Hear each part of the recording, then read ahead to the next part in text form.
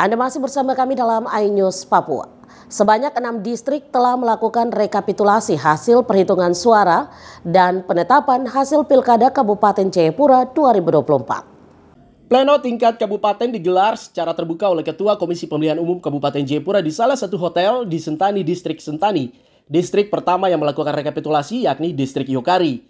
Kemudian dilanjutkan dengan Distrik Nimbokran, Urunum Guai, Gresi Selatan, Namblong, dan Kemtu Gresi. Untuk diketahui, distrik yang telah melakukan rekapitulasi perhitungan suara Pilkada Kabupaten Jayapura 2024 yaitu 6 distrik. Sedangkan distrik yang belum melakukan rekapitulasi suara yaitu distrik Yapsi, distrik Demta, distrik Revenirara, Sentani Timur, distrik Depapre, distrik Kaure, distrik Airu.